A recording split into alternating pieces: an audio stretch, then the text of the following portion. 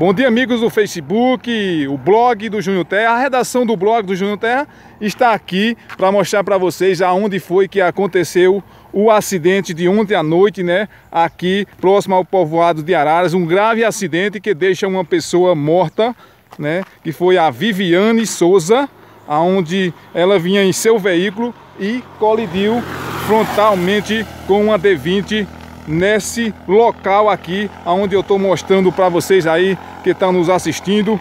Essa é uma curva muito perigosa, ó, mostrando junto com vocês, junto com o blog. E a redação do blog está aqui fazendo essa reportagem aí em primeira mão para vocês, mostrando aonde foi o local do acidente. O movimento de carro aqui, ó, é muito grande. Eu tô, vou, nós vamos agora acompanhar bem pertinho lá aonde foi o local justo aonde ficou os dois veículos na hora da colisão entre um carro e uma D20 e nós vamos agora, vou lá conferir junto comigo um movimento muito grande de veículos. Isso aconteceu ontem à noite, né? Nesta terça-feira de carnaval com uma tragédia aqui em Tabira aconteceu esse acidente gravíssimo né? Que deixa uma pessoa morta. Ó, ainda tá aqui tudo.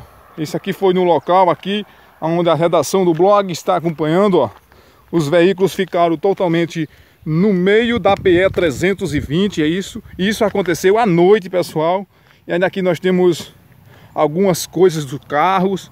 O parasol aqui ainda está aqui. Algumas lâmpadas ainda está aqui no local. E por pouco, por pouco, ela não chega, não chegou a cair nesse barranco. Nesse barranco aqui, ó. O carro ficou aqui, nesse local onde eu estou aqui, mostrando para vocês aí, ó, do blog, aonde deixou uma morta que é a Viviane Souza, né, moradora aqui de Itabira. E é isso aí, ó. O blog, mais uma vez, veio acompanhar junto com vocês aí que estão nos assistindo. A redação, a freada muito grande aqui, ó. Freada muito grande. E é isso aí, ó. Mais uma vez o blog acompanhando o local do acidente que aconteceu ontem à noite aqui na cidade de Tabira, aqui próximo ao povoado de Araras, nessa curva muito perigosa que uma semana atrasada aconteceu um acidente justamente nesta curva com, com um homem que também bateu em um carro justamente nesse trecho aqui, ó, que eu estou te mostrando agora. A você que esteve nos assistindo aí, um abraço do blogueiro Júnior Terra e todos que fazem parte do grupo do Júnior Terra e todos que me seguem aí no Facebook.